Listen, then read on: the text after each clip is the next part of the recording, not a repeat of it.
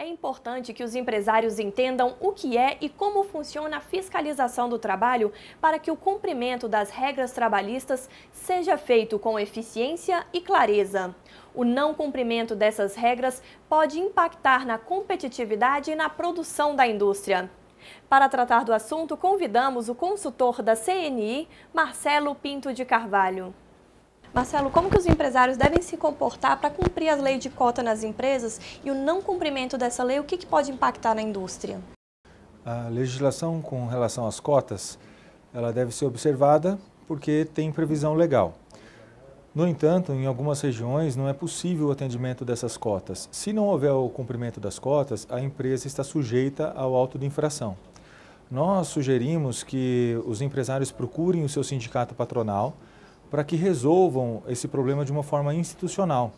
Por sua vez, o sindicato patronal buscará apoio junto à Federação das Indústrias no seu respectivo estado, no nosso caso aqui a Fibra, e a Fibra estará dando apoio para que esses empresários industriais eles possam chegar num consenso ou mesmo firmar pactos com as, as autoridades, os órgãos públicos, a fim de evitar os autos de infração.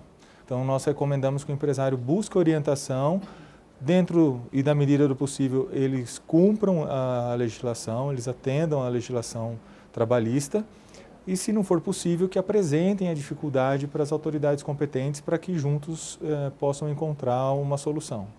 E quais são os principais itens que as fiscalizações têm cobrado das indústrias? Algumas questões são básicas, como, por exemplo, o registro dos seus funcionários. Né? Algumas empresas tomam um serviço terceirizado né? e acabam se descuidando na contratação dessa mão de obra terceirizada com o controle do, do registro dos trabalhadores. A fiscalização do trabalho, quando vai a campo fazer a, a, fiscalização externa, eles acabam verificando os itens relacionados ao contrato de trabalho, cumprimento da convenção coletiva de trabalho e alguns itens relacionados à saúde, higiene e segurança do trabalho. Então é importante que o empresário ele tenha conhecimento da sua convenção coletiva de trabalho. Então nós, nós destacamos que se observe o cumprimento da convenção coletiva de trabalho e também normas relacionadas à saúde, higiene e segurança do trabalho, que através das, das empresas ou o próprio SESI Saúde, que é o que nós recomendamos, né, que, que se contrate através do SESI Saúde, os serviços de segurança e saúde ocupacional. Isso irá prevenir inúmeros autos de infração e esses autos de, que pode, poderão ser lavrados uh, um dia serão evitados e o objetivo é prevenir do que sofrer alguma sanção por conta do não cumprimento da legislação trabalhista. Então, Marcelo, qual a orientação que você dá para o empresário para que ele siga as leis trabalhistas e evite os problemas com a fiscalização?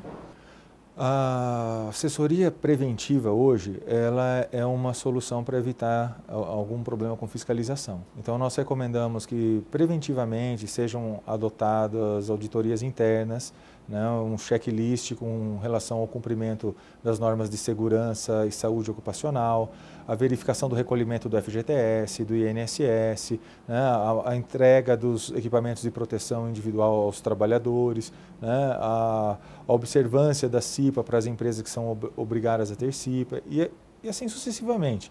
Né? O, caminho é a prevenção para evitar problemas com a fiscalização.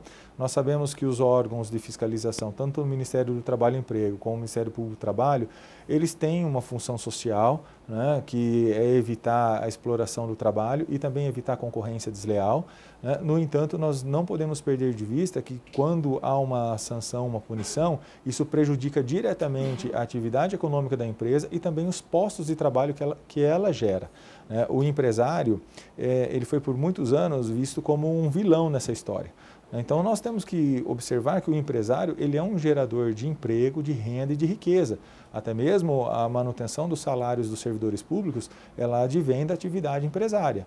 E, então, por isso que nós eh, recomendamos que os empresários ajam de forma preventiva. Né? As normas uh, de segurança do trabalho elas existem desde 1978, então elas são antigas. Né? O que nós temos é pouca divulgação dessas normas e esse trabalho do PDA, uh, que a CNI desenvolve junto às federações com apoio do SEBRAE, né? através de iniciativas realizadas pelos sindicatos patronais das indústrias, ele objetiva o compartilhamento dessas informações, né? para que, tendo informação, o empresário possa se prevenir.